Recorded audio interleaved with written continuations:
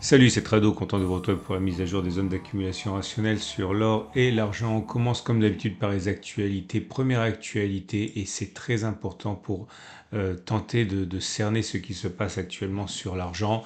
C'est un, article qui vient de City Asset Management et qui se pose la question de savoir hein, pourquoi, pourquoi ce auquel on assiste actuellement sur l'argent? Il faut savoir que l'or est en train de consolider suite à l'annonce euh, de la Fed il y a quelques jours par rapport à l'inflation. L'argent a déjà rebondi et euh, bon, alors c'est assez euh, synthétique, on va dire, mais vous avez les grandes raisons. Les grandes raisons sont d'une part qu'il semblerait que l'argent bénéficie des attraits de l'or en tant que valeur refuge, mais également de, l'attrait euh, du boom des matières premières, hein, notamment le, le, cuivre.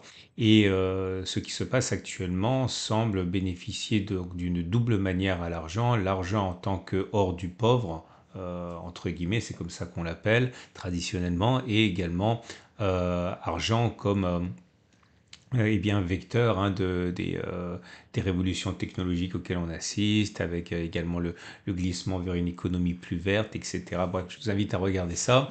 Et justement, euh, c'est une très bonne entame pour un article beaucoup, beaucoup, beaucoup plus fouillé, euh, qui est une synthèse de, de l'œuvre de, de, Nicolas Perrin, que, que, vous connaissez bien, un des plus grands spécialistes de l'or et l'argent, qui s'est attaqué, qui a commencé de s'attaquer à la Bible hein, de SNV.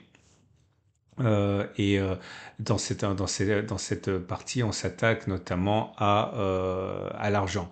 Est-ce qu'il est envisageable que l'argent eh bien cette fois euh, soit la bonne hein, et qu'on assiste à une explosion de l'argent, puisque je vous rappelle qu'on est très très loin hein, de, des niveaux qui ont été atteints euh, dans les années 80. Euh, bon, c'est un petit peu particulier avec euh, la spéculation des frères Hunt. Hein, je vous invite à regarder sur Wikipédia.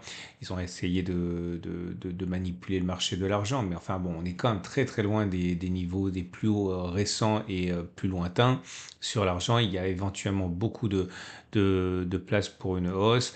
Alors à commencer hein, à cause de, sa, de ses caractéristiques industrielles, on le sait, également le fait, je viens de le dire, hein, que l'argent est perçu comme euh, l'or du peuple. Hein. Bref, euh, c'est très bien expliqué.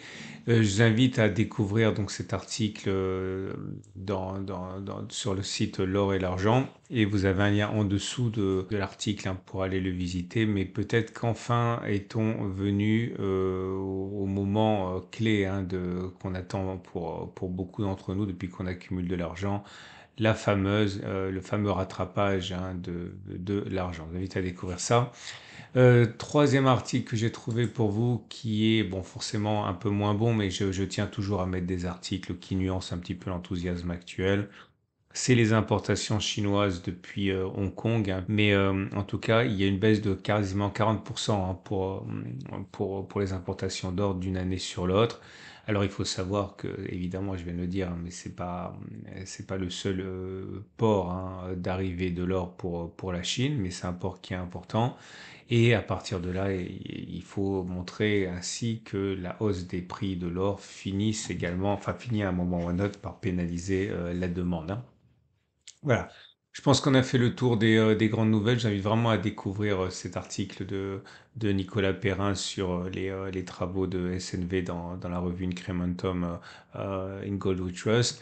Et on va passer aux zones d'accumulation rationnelle. Je vous rappelle que ce format vous est apporté par mon partenaire Coffre et Veracash. Si vous voulez acheter de l'or avec au coffre, eh bien, vous pouvez le faire vous avez une bannière sur mon site hein, qui vous permet de payer moins cher, une prime moins importante pour l'or. Vous pouvez également acheter de l'argent, du platine, du palladium, etc. C'est sur, euh, vous pouvez donc y accéder à cette bannière par, par mon site. Vous avez un lien en dessous de la vidéo. Et également Veracash qui vous permet hein, d'acheter de, l'or, de l'argent et d'y paiement comme ça si euh, le cours de l'or et de l'argent augmente vous pouvez tout simplement euh, le monétiser et dépenser plus avec votre carte de paiement n'hésitez pas à service lien en dessous de la vidéo on passe aux zones d'accumulation rationnelle on commence avec l'or libellé en euros qui euh, est en train de rebondir sur sa moyenne mobile à 50 périodes. Ici, la tendance de fond est toujours haussière, la tendance de long terme est également haussière. La zone d'accumulation rationnelle la plus proche a déjà été sollicitée, c'est 21,02, 21, 24 à retour dans cette zone pourrait faire l'objet d'une accumulation rationnelle. Les bougies Aikinashi, je vous montre une fois pour toutes, montre que c'est en rémission, on va dire, hein, puisque vous voyez maintenant, euh, euh, c'est une succession de toutes petites, euh, de tout petits corps rouges, de plus en plus petits. C'est l'hésitation qui commence à se mettre en place par rapport à la continuation du mouvement baissier, mais c'est pas encore haussier. Pour que ce soit vraiment haussier, il faudrait des grandes bougies vertes sans mèche basse. C'est pas du tout le cas pour l'instant. On va dire qu'il y a moins de conviction baissière pour, pour le moment. Pour l'or libellé en dollars, c'est la même chose. La tendance de fond est haussière, la tendance de long terme est haussière. On n'est pas revenu pour l'instant sur la zone d'accumulation rationnelle des 22,89, 22,66. Vous voyez qu'au passage, on a inscrit un nouveau plus haut hein, pour, pour l'or libellé en dollars qu'on n'a pas inscrit pour l'or libellé en euros sur la même séquence de temps. La tendance est toujours fortement haussière. On passe à l'argent. L'argent libellé en euros. Comme je le disais euh, tout à l'heure, le rebond a été violent pour l'argent libellé en euros sur la zone d'accumulation rationnelle que vous connaissez bien, celle des 28-27,2 qui a fait l'objet donc d'une accumulation. La tendance de fond est toujours fortement haussière, la tendance de long terme également. Et on n'est plus en zone d'accumulation rationnelle puisqu'on a rebondi dessus. On se rapproche des records de 10 ans qu'on a inscrits hein, euh, il y a euh, une semaine environ. Et euh, là, vous regardez, les bougies Ekinashi ont une toute autre configuration, une toute autre physionomie. vous avez des bougies vertes longues sans mèche basse, autrement dit, il est plus plausible que l'on continue de monter plutôt que l'on ait fait les plus sur l'argent libellé en euros. Et on termine avec l'argent mais libellé en dollars. L'argent libellé en dollars n'a même pas eu l'occasion de revenir sur sa zone d'accumulation rationnelle des 30,8,5 dollars. Pardon. Le rebond a eu lieu bien avant, ça montre l'appétit le, hein, des investisseurs pour, l'argent.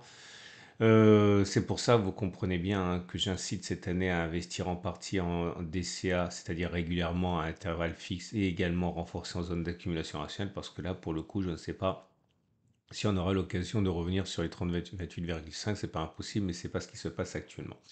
Voilà, je souhaite une excellente journée. Je vous rappelle que ce format est mis à jour le mercredi et le samedi, format long. Vous pouvez liker cette vidéo, ça donne de la visibilité aux analyses sur l'or et sur l'argent et ça me fait très plaisir. Vous pouvez revisiter tous les euh, vidéos, tous les, les, articles que j'ai mentionnés en début de vidéo sur l'actualité en suivant le lien en dessous de la vidéo. Et puis bien sûr, pensez à vous abonner pour ne pas louper les mises à jour. À samedi.